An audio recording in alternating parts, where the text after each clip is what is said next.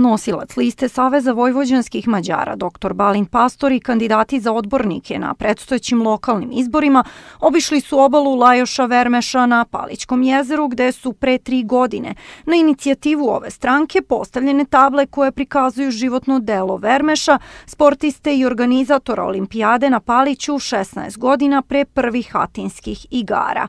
Nakon toga Pastor je sa kandidatima obišao i Rajhlovu palatu gde su rekonstruisani balkoni milioni u vrednosti od 3 miliona dinara iz gradskog budžeta na predlog SVMA. On je poručio da treba da čuvamo naša blaga i da se sećamo naših velikana, što je Rajhal kao čuveni arhitekta svakako i bio. On je jedan velikan arhitekture i jedan naš e, subotičanin.